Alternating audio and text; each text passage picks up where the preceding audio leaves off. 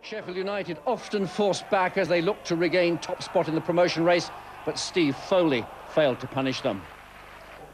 Swindon gained plenty of possession and uh, they often used it well with Alan McLoughlin's excellent passing a feature like that.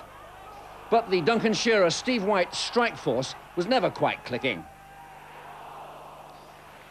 Then disaster for a home side looking to win to gain credibility as a promotion force. As the build-up takes place, their goalkeeper Fraser Digby comes out sniffing danger. Defender Jon Gittens goes in with Peter Duffield, but the ball's in the Swindon net, and Duffield, I'm afraid, with a broken leg. Sheffield fans celebrated, but uh, Duffield's going to have to have another painful experience tomorrow, having that broken leg reset. After half-time, Ossie Ardiles, the Swindon manager, and coach Chic Bates looking for an improvement, and the old long ball style, often combined with inventive movement from Steve White there and Tom Jones. But once again, Duncan Shearer can't beat an excellent goalkeeper in Simon Tracey. Tracey was to rescue Sheffield again when uh, Tom Jones's long pass finds White reacting alertly and getting a good strike on target.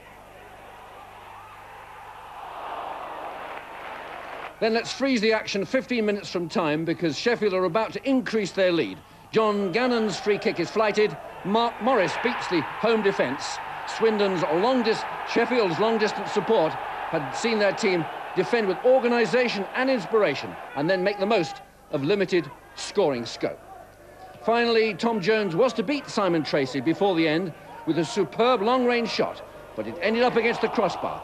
So it was Swindon naught when they should have scored at least the two goals that Sheffield went home with.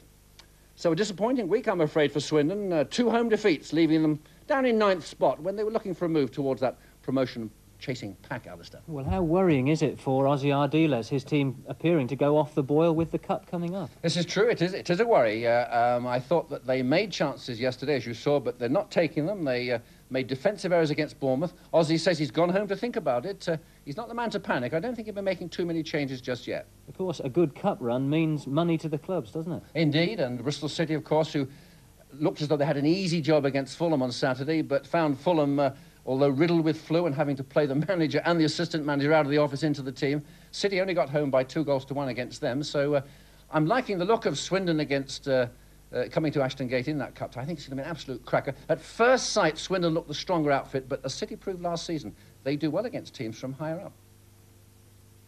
Well, so City v Swindon guarantees at least one of our league clubs in round four with a chance of bringing a top club to the West. Uh, Gloucester will have QPR, who are in 13th place. They're in Division 1 if they can win tomorrow's replay. And Norwich, currently way up there at fourth place in Division 1, very likely to be coming to play at Exeter next round.